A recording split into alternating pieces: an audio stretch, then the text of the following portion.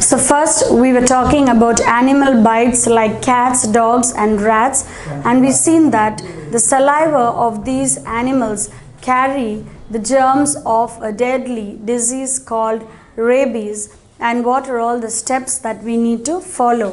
So first we need to wash the affected area thoroughly with soap and water at least three times in order to remove the saliva. Next we have to apply an antiseptic lotion over the affected area and keep the area covered with a clean cloth. The third point is they need to be taken to a doctor immediately. The doctor may give an anti-rabies injection. The major symptoms of a person suffering from rabies is hydrophobia.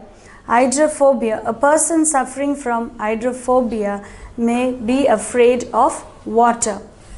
The next is first aid for snake bite. So when a snake bites someone, it injects poison into the victim's body.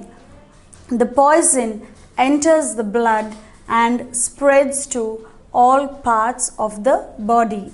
So in the case of a snake bite, we have to follow the different steps. So we see that when a snake bites someone, it injects poison into the victim's body and this poison enters the blood and spreads to all the parts of the body.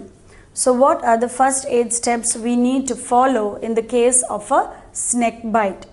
So first is do not move the victim.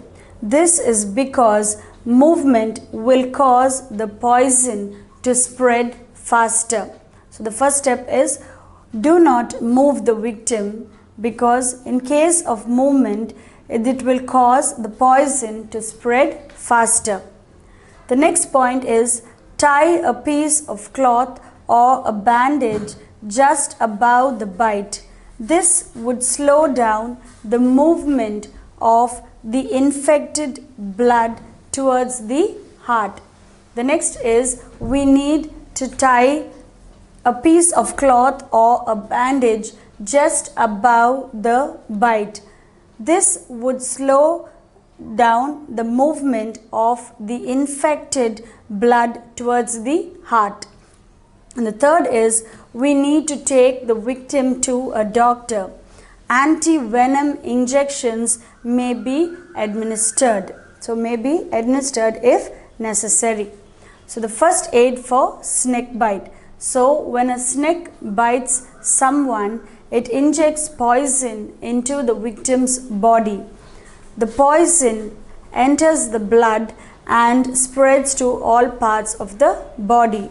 So we need to follow these first aid steps. So the first is we should not move the victim. In case of movement, it will cause the poison to spread faster. So this is because movement will cause the poison to spread faster. Next, tie a piece of cloth or a bandage just above the bite. This will slow down the in movement of the infected blood towards the heart. And the third most important point is we need to take the victim to a doctor. Anti-venom injections may be necessary. So these are the first aid steps we need to follow in the case of snake bite.